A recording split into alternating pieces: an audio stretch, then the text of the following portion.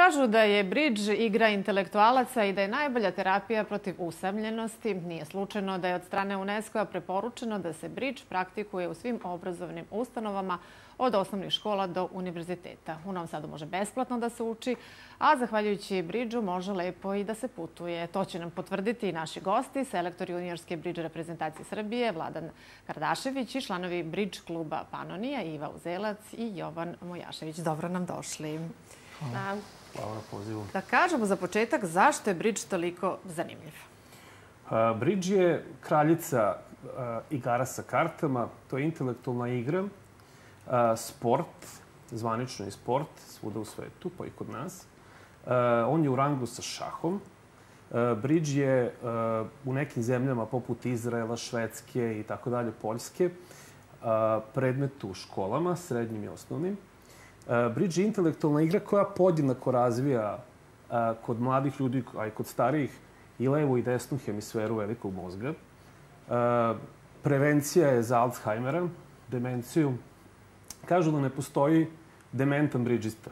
Mm -hmm. Bridge je igra koja može da se igra ceo život, znači od nekih najranijih, ajde da kažem, dana, pa sve do duboke starosti. Dakle, do nekih 90-ih, pa ljudi čak i posle 100 godina u Kini i tako dalje igraju. A u Novom Sadu može besplatno da se uči? U Novom Sadu može da se uči besplatno. Uh, Novi Sad ima tradiciju. Nažalost, e, zadnjih godina uh, imamo manje, pa vjerojatno zbog ovaj, svega ovo što nam se dešava, imamo manje uh, juniora. A, voleli bi... A juniori su praktično do 26. godine u ovom Juniori su u bridžu do 26. godine. Tako da a, konkurencija je inače mala i za reprezentaciju juniorsku. Ja sam selektor, pa... To lepo otvara vrata onima koji uđu u ovaj sport. Tako, tako je. Da. A, a, vrlo lako se ulazi u reprezentaciju, još uvek.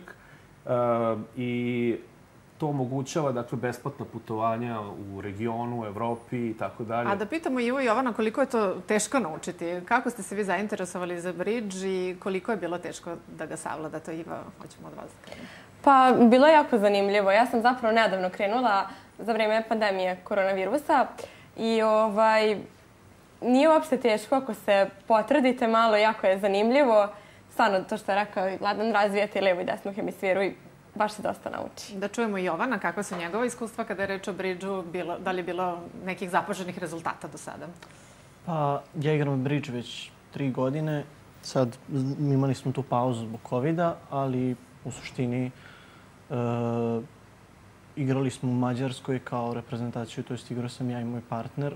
Može veoma lako uz neki dobar rezultat prosto da se izgurate, da igrate za reprezentaciju, putujete svetom, Gde ste sve putovali zahvaljujući Bridžu do pa, sada? Pa putovali smo po Srbiji, putovali smo u Mađarsku, smo išli već dva put. E, su iz našeg kluba išli. E, seniori su odlazili u Litvaniju ove godine, koliko ja znam.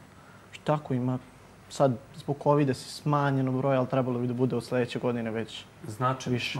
Ali ne možemo reći da Bridge nema kod nas dugu tradiciju i ne možemo reći da je sport koji je karakterističan za stariju generaciju. Bridge ima u stvari dugu tradiciju kod nas.